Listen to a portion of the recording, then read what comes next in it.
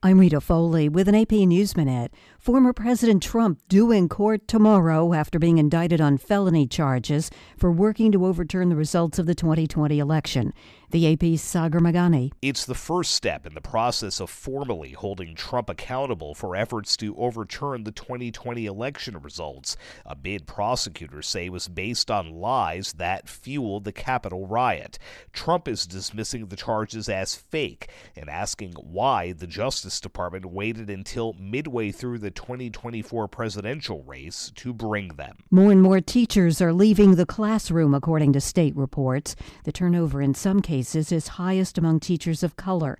A major culprit stress from pandemic era burnout, low pay, and politics in the classrooms, they say. A new quick study finds that human caused global warming made July hotter for four out of five people on Earth. I'm Rita Foley.